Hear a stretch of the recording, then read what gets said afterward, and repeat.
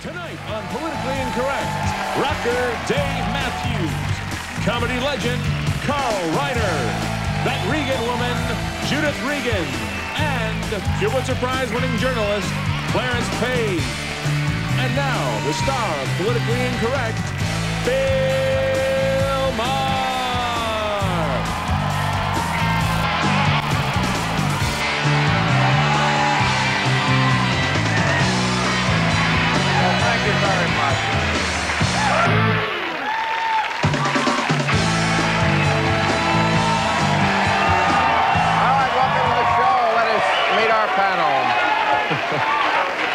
he is a Pulitzer Prize winning columnist for the Chicago Tribune, and his latest collection of essays is called Showing My Color. Clarence Page. There's Clarence. Hey, man. Good, to see you again. Thank you very much. Writer, director, performer, lover, legend, and 12-time Emmy winner. His new movie is Bette Midler's That Old Feeling I Saw It is very funny. Carl Reiner. Very funny picture, by the way. Oh, thank you. Yes. The controversial president of Regan Company Publishing and the host of that Regan woman, Judith Regan. Yes. There she is. Hello. No, I don't have a book on you. Thank you very much.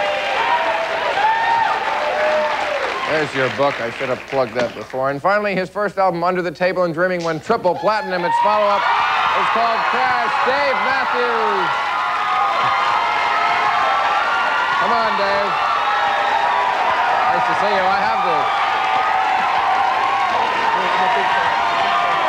Well. Okay. That's, I've never done a tape service.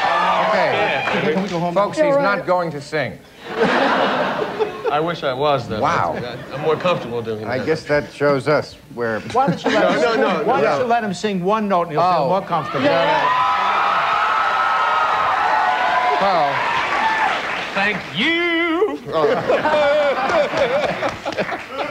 because I want to talk about puberty. Now, Have, you, gone through it? yes, I have. And, and that's the point. When I went through it, I was a lot older than kids are doing it today, which is, sounds like a joke, but it's not a joke. This was front page news last week.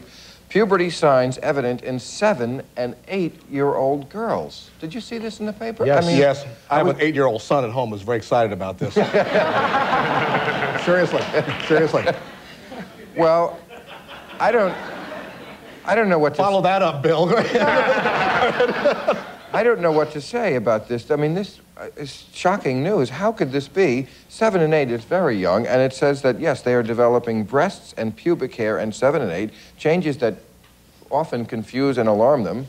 But you know, I, I just have to say, my sister told me this recently uh, that when she, we moved to South Africa in 1980, and she, uh, she, she, she was leaving, she was leaving uh, her school where she was the only one that didn't have, what hadn't gone into puberty. You know, all everyone else had boobs and hairy armpits, and and she was about 11. So she- we went back to South Africa, and she started to sprout. And six months later, uh, they, she went to school, and uh, I think she realized it was a very traumatic moment for her when she was up doing a little stage play with all the other girls that she was the only one that had gushes hair coming out from under her arms. So it's it's an American phenomenon. That's kind of funny. Well, I, isn't? I think it you is know, in a sense you're- because I think it that does what say it, U.S. girls. I think what it girls. indicates is a serious loss of innocence.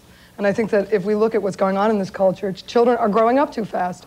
And any woman knows that her menstrual cycle is tremendously affected by things like emotions and experiences and what's happening. But you're, you're saying because of what's going on in the culture, it actually think that- causes physical I think it's I believe hammered. that's might true. very I well believe be. that's It true. might. Yes, I do. And I I also think think our obsession with sex. Our obsession? I think we are obsessed with sex in this culture. I think that girls see on television. But why would the obsession with sex get because into our because very our genes? minds have an effect on our brains and on our bodies. Don't tell me you're going to blame woman- television for this, right? No, no, I'm not blaming I can hear it television. Uh, it's the culture. You know, we're growing up too fast. The proliferation of kiddie beauty pageants. The, the mothers of, the mothers are You're- saying, get sexier. Be, look like you have breasts when you don't have it. That's what they do. Another thing, I think it's something, it's something uh, nutritional. There's too much hamburgers. sugar. You know, there's Sugar? there's there's sugar covered cereal, sugar covered chalk, uh, sugar cubes. I mean, I, I, I, oh, I was at my is- you're gonna- That would house the other retard your growth. I- Yeah, I- well, I, don't know, but I- there's- maybe I- it, it sends Carl, it I think You're going to some- hear Look, I from the sugar lobby now, I know. Women are going through menopause at an earlier age. It's the whole acceleration of, of our lives. We're moving too fast. The kids are growing up too fast. I have two children. I have a 16 year old and a five year old. And I can tell you their experience in childhood is vastly different from mine. Yes, They're the- growing up too fast and their bodies are responding. It makes perfect sense to me. There was also an item in the paper yesterday that fourth graders were sent off to a room as a disciplinary measure, nine fourth graders, and wound up engaging in sexual activities In Washington, oh, D.C. in Washington, D.C. a big story there. Again, they're exposed. To So you they see it, they see it. Well, then you are blaming It's cultural TV. stimulation. You It's know, not just TV. They but see it in their but homes. Calvin Klein ads and It's- stuff like that. it be- couldn't be- rampant in the culture, and it's it what we, we what we think we value. We think we value sex above everything else You in this know, country. I, I did, uh, uh, in do? the 1960s, I had, the. I had the Dick Van Dyke Show, and we weren't allowed to show that they lived in the same bed. They were in separate beds. Right, And I'm right. watching all these shows now, and I think they're very funny and very well written, but there is a, a situation comedy now that is not talking about the size of a person's member. Yes. They're not talking about, did you have it yesterday? Did you? You're right. I saw three shows, one in a row. They said, did you get laid last night? And they Yes. were talking about, and they were very casually, and I think kids see that, and they say, No oh, doubt So you about think if we, if we separate if we separate the beds and TV shows, But- the, those uh, those ten year olds with boobs, we and, and suddenly, suddenly I feel younger again. All right, I don't understand that. Okay, we have to take a break. We'll come right back.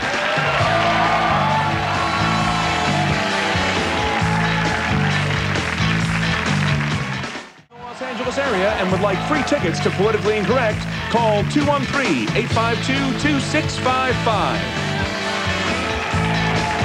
All right, welcome, uh, welcome back to American Bandstand. Now, we were, we were talking about. Uh, now, this study, importantly, is only about girls. The puberty age seems to be lowering only for girls. Now, I want to ask if there's a connection between the fact that, in my lifetime, certainly the big change in sexuality has been with women. In my mother's day, they didn't used to, excuse me, put out. And they were right. And you think they were right? No you doubt think, you about it. Why buy the cow if you can get the milk for free, is what my mother taught me. And she was right. Because Every girl's women. mother taught him that. And they Or should, at least all the they girls I went out with, uh, their mothers taught them that. But, but you held to the girls in, in high regard because of that, and you worked harder to get them. If women give it away, the sexual revolution was devastating for women. It was also devastating for men. But it was so, worse for women because there was a time, it took us 2,000 years to get men to behave.